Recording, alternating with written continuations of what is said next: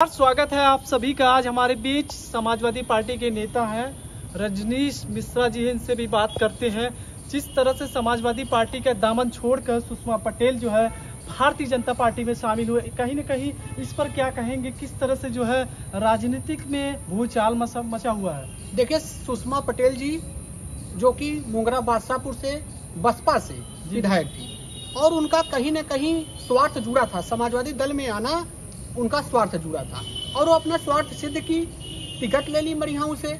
हमारे माननीय पूर्व विधायिका जी का टिकट सदा यादव जी का टिकट काटा गया। दुर्भाग्यपूर्ण विषय था। लेकिन मात्र कम वोट से, केवल छह, सात सौ, आठ सौ वोट से हारना और हमारे कार्यकर्ता जमीनी स्तर से उनके लिए संघर्ष करते रहे।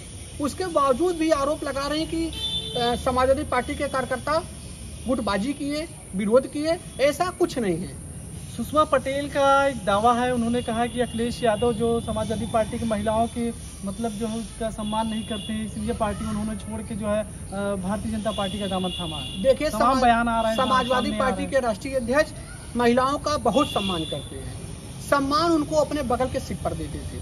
और आज वो भारतीय जनता पार्टी में चली गई तो कहीं उप मुख्यमंत्री के पीछे खड़ी हुई नज़र आ रही हैं। तो समाजवादी पार्टी में सदियों से माननीय मुलायम सिंह यादव जी थे तब से महिलाओं का सम्मान।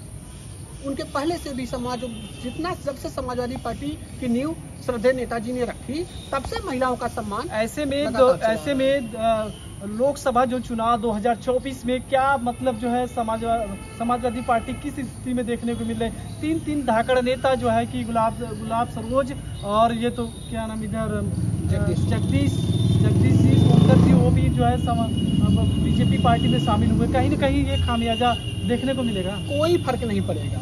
समाजवादी पार्टी, जमीनी पार्टी, ज़मीन स्तर से लड़ाई लड़ने का काम की है समाजवादी पार्टी का कार्यकर्ता, तमाम हम लोग जा करके घर घर समझाने का काम करेंगे। दुराचारी, अत्याचारी सरकार को उखाड़ कर फेंकना है और समाजवादी सरकार बनाना है। तो क्या ऐसे में ये ये जो तीन लोग जो है समाजवादी पार्टी में शामिल थे फिर उन्होंने जो है जिस तरह से जो है भारतीय जनता पार्टी में वो पार्टी में गए हुए हैं। कहीं ना कहीं ये देखा जाए कि भारतीय जनता पार्टी को कहीं ना कहीं मजबूती देखने को मिलेगा।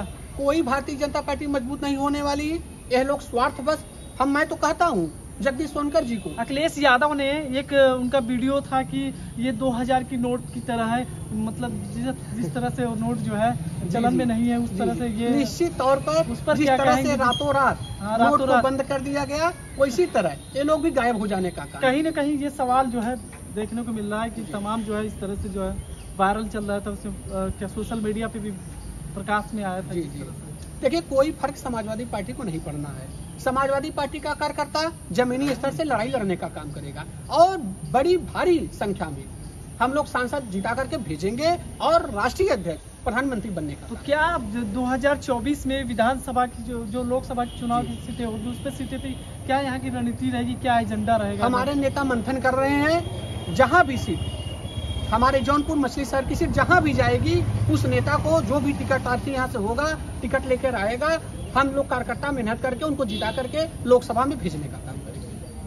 ऋषि यादव जी का भी उनका भी बयान है। अखिलेश यादव भी चाहते थे आप भी मतलब समाजवादी पार्टी से जुड़े हैं उनके भी चाहते हैं। क्या कहेंगे दर्शकों से और किस तरह से जो ये भूचाल मचा हुआ पार्टियों को लेकर? देखिए दर्शक को मैं बताना चाहता हूँ कि यह लोग स्वार्थ से आए थे। जी।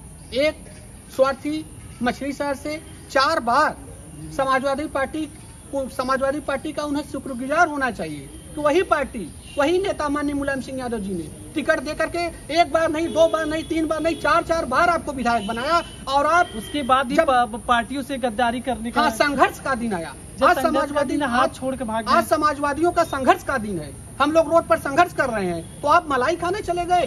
हाँ, यही यही। मलाई काम आने वाली नहीं है। वहाँ से भी इन्हें धोखा मिलेगा।